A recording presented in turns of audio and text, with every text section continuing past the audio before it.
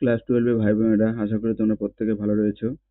এর আগের দুটো ভিডিওতে, অর্থাৎ আমাদের ছাব্বিশ এবং সাতাশ নম্বর ভিডিওতে আমরা দুটো আট মার্কের কোশ্চেন আলোচনা করেছি। আমাদের শিক্ষাবিজ্ঞান যে সাবজেক্টটি রয়েছে তার পঞ্চম অধ্যায়, বিশ্ববিদ্যালয় শিক্ষা কমিশন থেকে।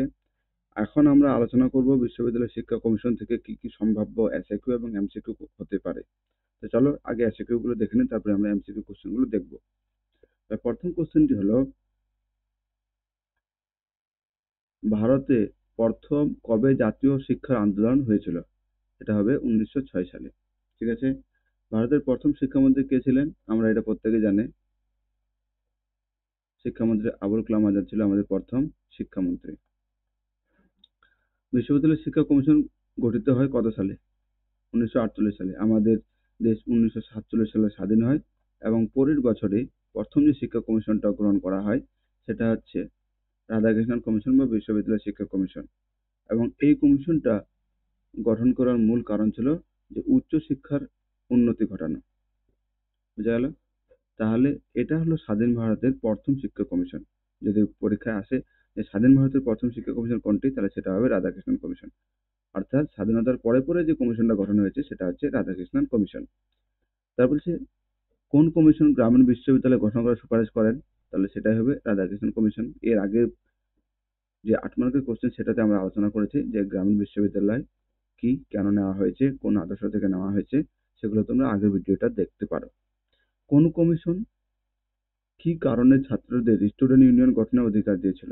বলছে বিশ্ববিদ্যালয় শিক্ষা কমিশন শিক্ষার্থীদের চরিত্র গঠন ও নেতৃত্বের গুণাবলী বিকাশের জন্য ছাত্র সংগঠন বা স্টুডেন্ট ইউনিয়ন গঠনের কথা বলেছে। বর্তমানে যে আমরা ইউনিভার্সিটি কলেজগুলোতে স্টুডেন্ট ইউনিয়ন দেখছি সেটাই প্রথমে রাধাকৃষ্ণন কমিশনে বলা হয়েছিল বা গ্রহণ করার কথা বলা হয়েছিল। কেন?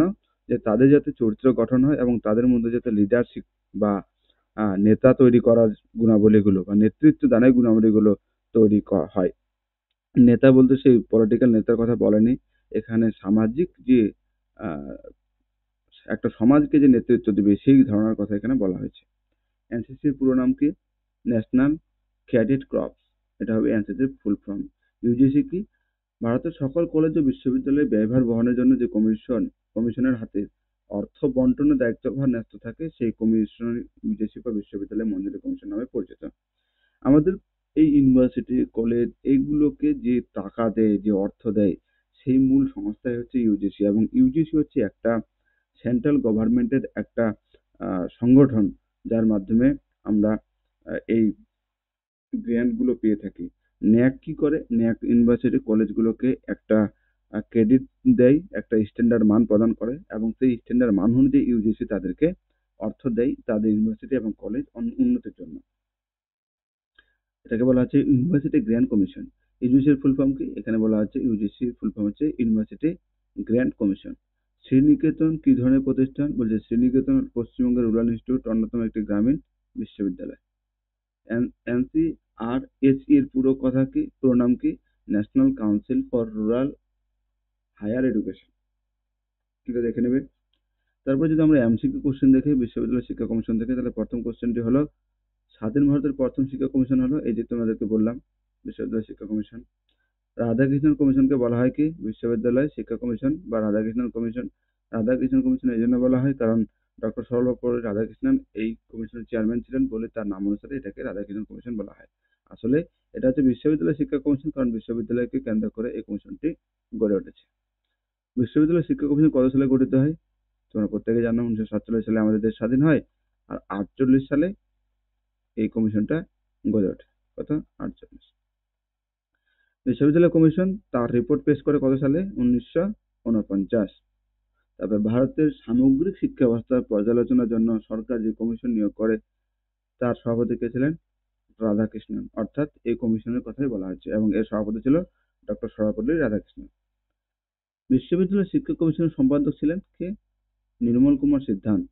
অর্থাৎ এখানকার যে সম্পাদক এই কমিটির বা কমিশনের, সেটা ছিল নির্মল কুমার সিদ্ধান্ত এবং চেয়ারপারসন ছিল, চেয়ারম্যান ছিল আম- আমাদের রাধাকৃষ্ণন বিশ্ববিদ্যালয় কমিশনের সদস্য সংখ্যা ছিল কজন? দশ জন। ইউনিভার্সিটি গ্র্যান্ড কমিশনের সদস্য সংখ্যা ছিল, এই ইউনিভার্সিটি গ্র্যান্ড কমিশন বলছি? বিশ্ববিদ্যালয় শিক্ষা কমিশনের সদস্য সংখ্যা ছিল দশজন। রাধাকৃষ্ণন কমিশনের ভারতীয় সদস্য ছিলেন কজন? সাতজন। সাতজন ছিল ভারতীয়, বাকি তিনজন ছিল বিদেশি। বিশ্ববিদ্যালয় শিক্ষা কমিশনের বিদেশি সদস্য সংখ্যা তিনজন বলে দিলাম তিনজন। কলকাতা বিশ্ববিদ্যালয় স্থাপিত কত সালে? আঠারোশো সাতান্ন। কলকাতা, মুম্বাই, মাদ্রাজ এই তিনটে ইউনিভার্সিটি একসঙ্গে তৈরি হয় আঠারোশো সাতান্ন সালে। বিশ- বিশ্ববিদ্যালয় শিক্ষা কমিশনের প্রস্তাব অনুসারে ত্রিভাষা সূত্রটি হলো কি?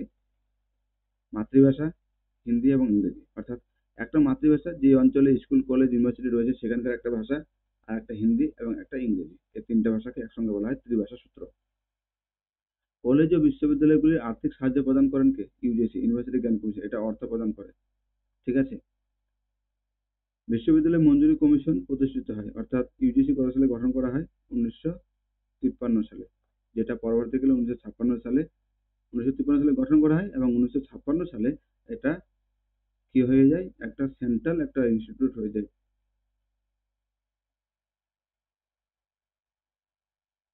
তারপরে চোদ্দ নম্বর বলছে, উনিশশো আটচল্লিশ সালে মাধ্যমিক শিক্ষার পুনর্গঠনের জন্য। উনিশশো আটচল্লিশ সালে মাধ্যমিক শিক্ষার পুনর্গঠনের জন্য একটা কমিটি গঠনের সুপারিশ করলে তা হলো CAB central advisory board of education national council for rural higher education প্রতিষ্ঠিত হয় উনিশশো ছাপ্পান্ন সালে, অর্থাৎ এনসিআরএচি গঠন করা হয় উনিশশো ছাপ্পান্ন সালে। বিশ্ববিদ্যালয় শিক্ষা কমিশন রুরাল ইউনিভার্সিটির পরিকল্পনার পেছনে যে প্রতিষ্ঠানের আদর্শ কাজ করেছিল তা হলো ডেনমার্কের জনতা কলেজ আর একটা হচ্ছে বেসিক এডুকেশন। ঠিক আছে? কার? গান্ধীজি। গান্ধীজির বেসিক এডুকেশন। কোন প্রতিষ্ঠান গ্রামীণ বিশ্ববিদ্যালয়ের পরিবর্তে গ্রামীণ প্রতিষ্ঠান বা রুরাল ইনস্টিটিউট প্রতিষ্ঠার কথা বলেছিল। সেটা হচ্ছে এনসি আর অর্থাৎ এই যে আমরা দেখলাম, national council for rural higher education. তাহলে এই ছিল তোমাদের বিশ্ববিদ্যালয় শিক্ষা কমিশনের এমসিকিউ এবং এসএকিউ কোশ্চেন। এগুলোই তোমাদের পরীক্ষায় ঘুরে ঘুরে আসতে পারে। তো বেশি করে কোশ্চেন পড়ার দরকার নেই।